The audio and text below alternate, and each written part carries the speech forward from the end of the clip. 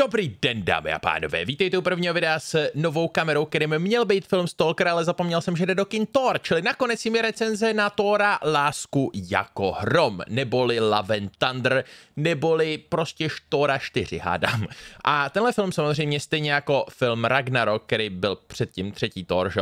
režiroval Taika Waititi. A Taika, možná ho znáte z Králíčka Joja a z prostě nějakých dalších jeho filmů, je poměrně dost komediálně zaměřený režisér, ale zároveň je to jeden z mála režisérů, který dokážou v rámci Marvelu tak nějak eh, prosadit svoji vlastní autorskou vizi.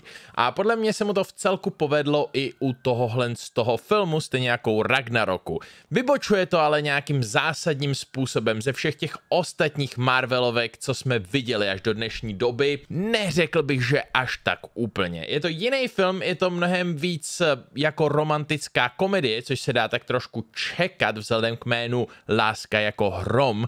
Nicméně, eh, jo, no, prostě pokud chcete něco úplně jiného, než jste doteď viděli v rámci Marvelu, nedostanete to tak úplně v tomhle tom filmu, ale je to jiný o dost na to, aby zkrátka to vybočovalo.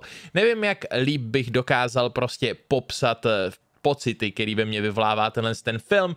Nicméně chtěl jsem hádám tadyhle tu věc tak nějak eh, sdělit hned na začátku, protože vím, že dost lidí už je unavených z těch standardních Marvelovek a doufají, že se dočkáme něčeho úplně nového, úplně jiného. A Thor Láska jako hrom prostě není takový film, nicméně opět je k tomu poměrně blízko. A já vím, že už to začíná být trošku otravný, vzhledem k tomu, že Marvel nám tohle to udělal už vlastně s Doktorem Strange v Multiversus šílenství, i třeba s Eternals a v podstatě i třeba s Moon Knightem a některými jejich dalšíma seriálama. Nicméně tak to prostě je. Marvel pořád tak nějak přešlapuje na hranici toho, co je pořád relativně klasický MCU a odmítá se vyloženě vydat někam daleko za ní. No, každopádně, o čem tenhle ten film je? No, máme tady God Butchera, který ho hraje úžasný Christian Bale, který ho můžete znát pravděpodobně hlavně z Batmanu od Nolena, nicméně pravděpodobně ho znáte z jiných filmů. A Christian Bale je prostě úžasný herec a God Butcher je postava, která je poměrně známá i z komiksu, kde má podobný origin jako v tomhle tom filmu a zkrátka vydává se zabít všechny bohy, protože ho zklamali. No a z toho důvodu prostě s ním Thor pochopitelně musí bojovat, protože je to bůh, všichni Asgardiani jsou vlastně taky tak nějak bohové ve větší či menší míře a tím pádem je potřeba ho zastavit, čáno.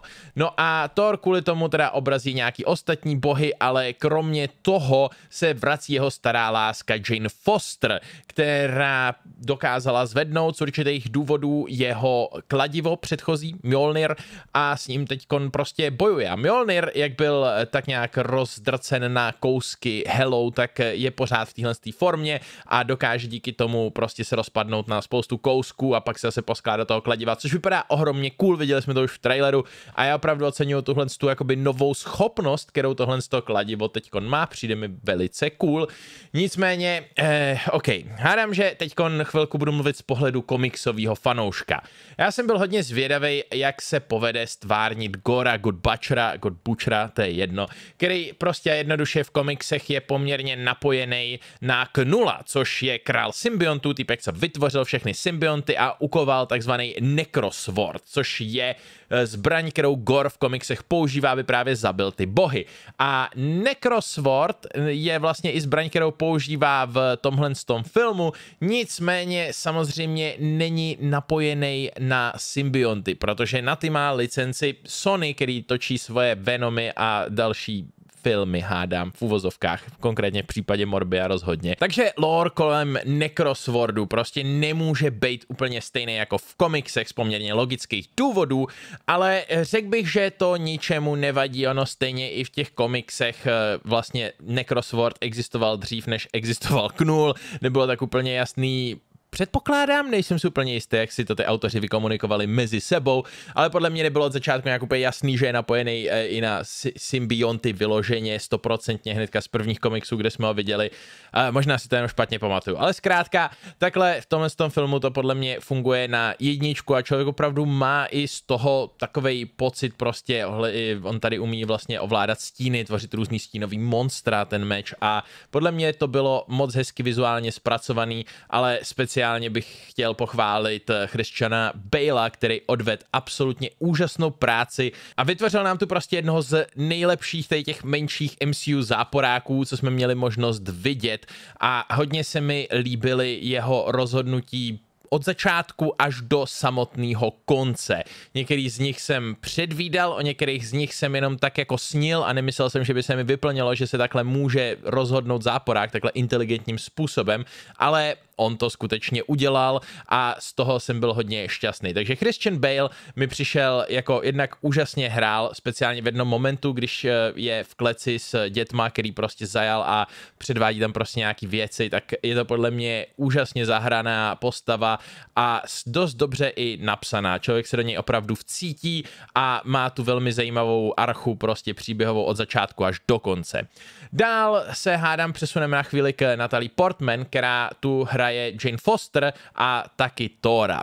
Můj osobní beef trošku s tím jménem Thor zůstává, ale zkrátka ten film za to podle mě tak úplně nemůže, protože v komiksech, když Jane Foster zvedla kladivo, se jí říkalo Thor a do toho tam byl normální Thor. Já nemám hrozně moc rád, že má stejný jméno, protože podle mě si ty postavy pletou, člověk si může být jistý, jako v tom filmu technicky za to mluvíš prostě a zároveň do toho jako Thor je Thorovo křestní jméno, je to Thor Odinson. Je to jako kdyby někdo vzal zbroj Tonyho Starka, zbroj Ironmana prostě a začal by si říkat Tony, místo toho, aby si začal říkat Iron Man což mi přijde prostě neuvěřitelně hloupý. A tenhle ten film samozřejmě dělá tak nějak omáš komiksům nebo vzdává hold komiksům, no prostě to dělá stejně jako komiksy, takže Jane Foster si říká Thor, což jako, když je to tak v komiksech, tak já si nemyslím, že se na to člověk může nějak moc štěžovat, ale podle mě je to od začátku až do konce úplně debilní nápad říkat dvěma postavám, který jsou prostě někdo jiný stejně a navíc jakoby křestním jménem, to mi přijde absolutně debilní.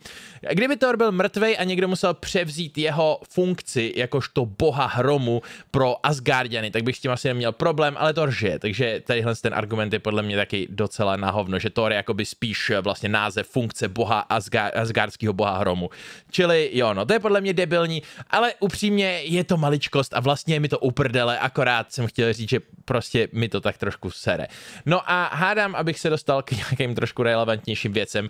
Její příběh tady je podle mě mega zajímavý a dobrý. Tajkovi Waititimu se podařilo opravdu tak nějak nám dát vhled do toho, toho romantického vztahu mezi Thorem a Jane, který se odehrával mezi prvním a eh, druhým filmem, i když vlastně to Thor nemohl teoreticky vzat to na zemi, ale zkrátka ukázal nám ve flashbacích tu romanci, kterou Thor s Jane měli, dal i dobrý důvod, proč vlastně skončila a všechny tyhle ty věci, které jsme tak nějak přeskočili, protože jsme museli řešit Avengers a Endgame a Thanose, jeho luskání a tyhle ty záležitosti, tak nám Tajka dal tady zpětně v tomhle tom filmu, což je podle mě velmi, velmi dobře. A Thor opravdu působí jako postava, jejíž vývoj je teď výrazně konzistentnější díky tomuhle z tomu filmu, kde jsme zkrátka dostali mnoho různých flashbacků na události, které se odehrály zkrátka mezi, já nevím, druhým Thorem a Endgame a tak dál a tak dál. Čili za to obří palec nahoru tomhle z tomu filmu je to podle mě velký krok správným směrem pro lore kolem Thora jako takovýho. A i pro Jane Foster, která teda, eh, hádám, má tady podobný příběh jako v komiksech.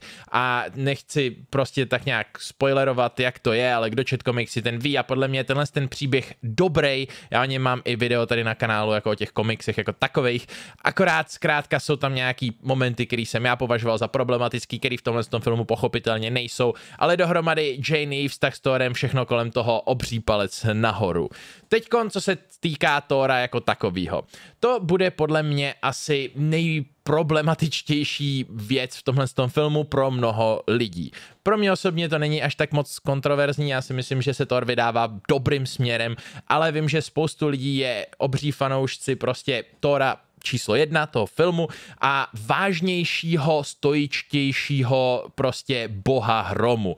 A třeba i díky mytologii, nejenom díky Marvel komiksům. Nicméně tenhle ten film jde stejnou cestou jako Ragnarok, který je vtipnější a vtipnější. Chris Hemsworth sám si přál, aby se jeho postava vydala tímhletím směrem, protože hrát stoického drsného boha ho nebaví tak moc, jako bejt tak trošku komediální. A tenhle ten film mu dopřává spoustu komediálních momentů, který ale nejsou vyloženě jako hláškování, ale občas prostě, to je tady v tom filmu prostě jak trochu ztracený, hledá sám sebe a díky tomu se občas chová, můžeme skoro až říct lehce hloupě, nebo prostě jak klaunským způsobem. Podle mě tohle to není nejmenší problém. Já si užívám Chrise Hemswortha v téhle roli a přijde mi, že má dobrý komediální timing a že mu to prostě sedí. Fakt, že to není Thor úplně, jak ho známe z některých těch vážnějších komiksů, nebo tak, jak ho můžete znát ze severské mytologie, mě osobně vůbec nevadí.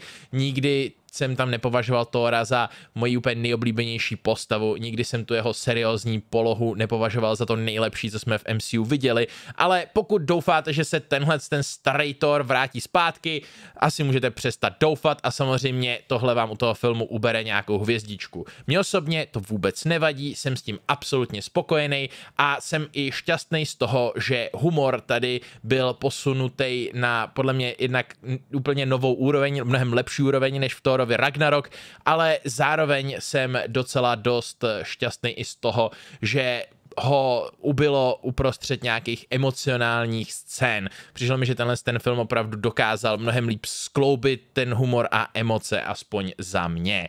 Jinak teda, kromě vztahu Thora a Jane, je tu ještě vztah Thora a jeho, s jeho kladivy, který je úžasně vtipný a je tu v zásadě jenom kvůli humoru, nicméně zase musím to zmínit jako velký pozitivum tohle z toho snímku. Hádám, že na závěr efekty jsou dobrý, herci všichni hrajou absolutně prostě dobře dobře a není moc, co bych tady mohl jako vyčítat po technické stránce a tak dále, tak dál. Samozřejmě máme tu tu standardní marveláckou korekci barev, až na to, že je tu teda jedna scéna, která je v podstatě černobílá s nějakýma akorát jako puch, výbuchama různých energií a tak dál, což je velice cool za mě, že to je vizuálně místy trošku jiný než zbytek Marvelu, ale ne nějakým výrazným způsobem, prostě jak už jsem říkal na začátku, plus minus autobus, stejný Marvel jako vždycky, i když teda na okraji toho, co je hádám, tak nějak eh, normální v těch jejich filmech. Čili jo no, dobrá Marvelovka, tak trochu jiná, hodně jako Taika Waititi. Pokud máte rádi jeho filmy, pokud máte rádi Marvel a Thora Ragnarok, tohle je prostě za mě lepší Thor Ragnarok. A určitě si myslím, že zkrátka, pokud spadáte do těch kategorií, co jsem teď tak nějak vyjmenoval, tak se vám vyplatí na tenhle film zajít do kina. Zaslouží si Medérovu pečeť kvality a čtyři hvězdy na ČSFD ode mě. Takže tak, samozřejmě, pokud nemáte rádi Marvel, nemáte rádi Taiku jeho styl humoru a to Ragnarok vás neuvěřitelně sral, tohle pravděpodobně nebude film pro vás, Pff, co jiného se dá čekat, že ano. Jo a jsou tam samozřejmě dvě potitulkovky, jako vždycky u Marvelu, takže neodcházíte z kina, pokud prostě jste tadyhle lidi, co chtějí vědět úplně všechno. Nejsou až tak extrémně důležitý, když eh, podle mě ta první je strašně předvídatelná a ta druhá je tak trochu děsivá z hlediska určitých budoucích událostí, které by se díky ní mohly stát. Haram, ještě jednu věc bych mohl říct, eh, pořád tady není nějak úplně jasný, jakým směrem se v budoucnosti vydá MCU, což by možná některým lidem mohlo vadit, nebo by jim to mohlo připadat jako důvod, proč na ten film nejít. Jakože pokud prostě jenom chcete odhalit přesně, co se začne dít v té čtvrté fázi MCU, tohle to není ten film, který vám naprosto jasně ukáže, kudy se prostě bude následně Marvel vydávat. Nejsou to odhalení nějaký velký záporáci, který budou hrát extrémní roli ve spoustě následujících filmů a tak dále, tak podobně. Čili jo, no, to je možná, to pro někoho bude taky zklamání, tak trošku, ale aspoň tenhle ten film má normální konec, není to jenom velký setup na hromadu jiných seriálů a dalších věcí, za což eh, mu podle mě patří docela solidní palec nahoru. No dobrý, dobrý, dobrý. To je všechno k Thorovi Love and Thunder nebo Láska jako hrom. Samozřejmě můžete dát like nebo dislike na tohle video, můžete se kouknout do popisku, koupit si tam něco na Alze nebo karty nebo český energetický nápoj Godlike, nebo můžete odebírat na ten kanál, dát like, dislike, napsat komentář a podpořit mě na Patreonu, jako úžasní lidé, kteří jedou v seznamu tady někde po, po jedné straně. Díky moc vám všem za sledování, mějte se a někdy příště.